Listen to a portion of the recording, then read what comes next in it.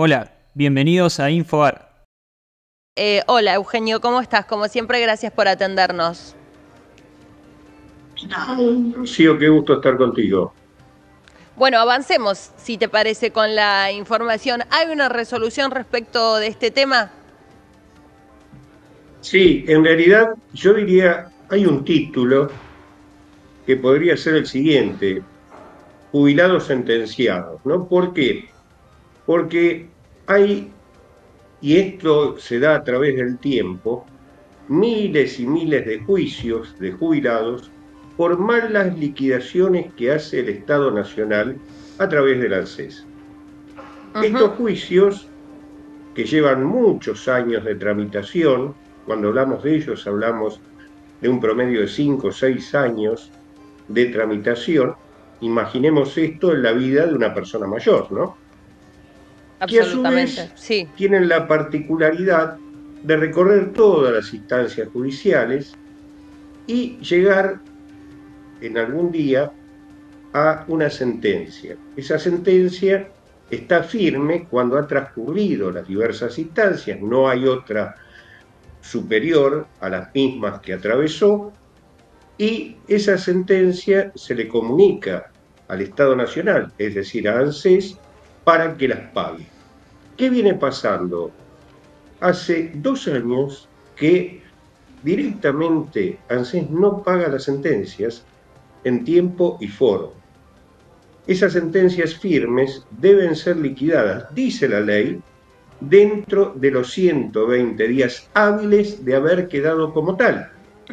Pero, como te decía, de facto directamente no se las viene pagando hay alrededor en esta situación, o llegando a esta situación, alrededor de 83.000 eh, juicios que debieran ser abonados.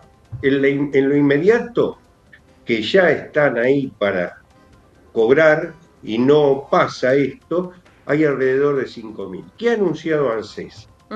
Que en forma inmediata va a liquidar una parte de la sentencia. Esto es muy positivo. Es un disparate lo que se venía haciendo, que es no cumplir ni con la ley ni con las mandas de los juzgados. Vos fíjate, mira, para que nos entiendan quienes están siguiendo esta conversación, si alguno de nosotros tiene un juicio en su contra y el juez nos condena a hacer algo, a pagar algo, y no lo hacemos, inmediatamente va a venir un señor de uniforme que nos va a llevar de los pelos por desobediencia este, para que cumplamos. Esto no ha ocurrido con los funcionarios que han incumplido estas mandas judiciales.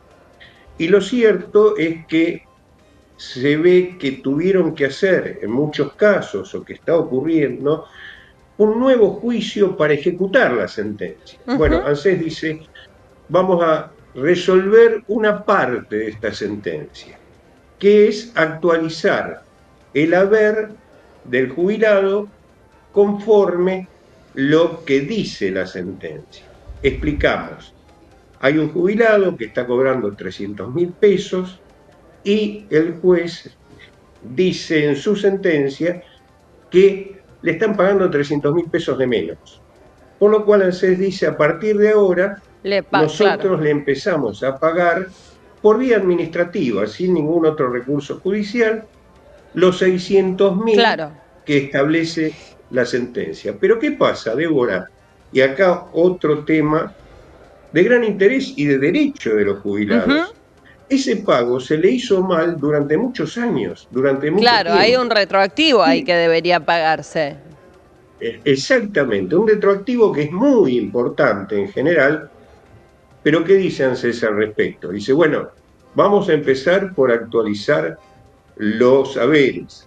Y en el 2025 vemos cuál es el estado fiscal como para poder pagar esos retroactivos. ¿Por qué?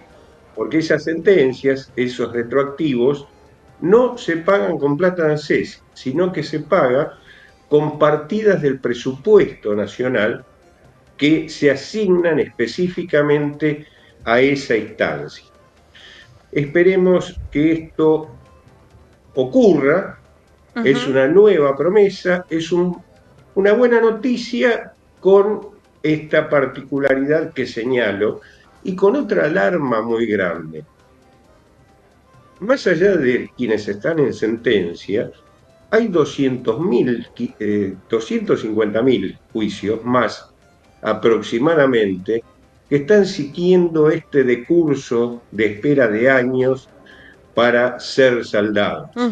Vale decir que es un tema de gran dimensión que si no lo contemplan las autoridades nacionales y los diputados y senadores en el tratamiento del presupuesto del año que viene, no se va a poder hacer.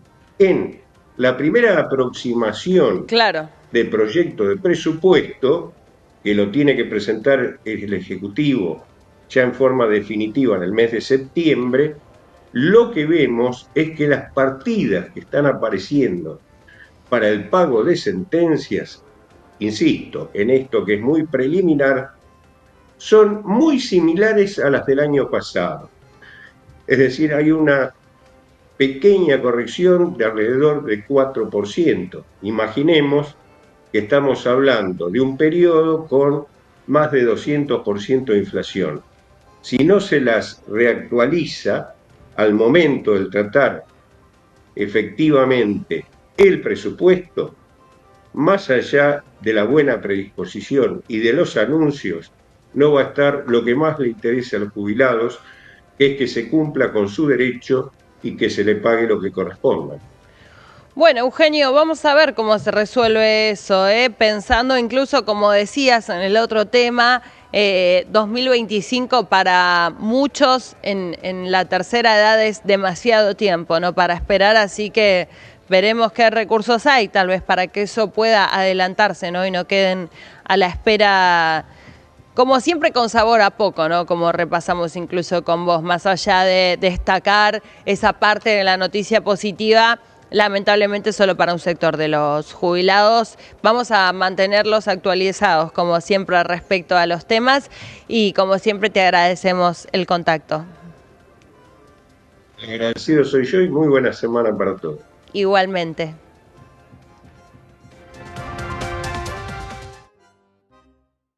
Por favor, suscríbete al canal y activa la campanita para enterarte de todas las novedades. Déjanos tu comentario, dale me gusta y compartir el video con tus conocidos. Gracias y hasta el próximo video.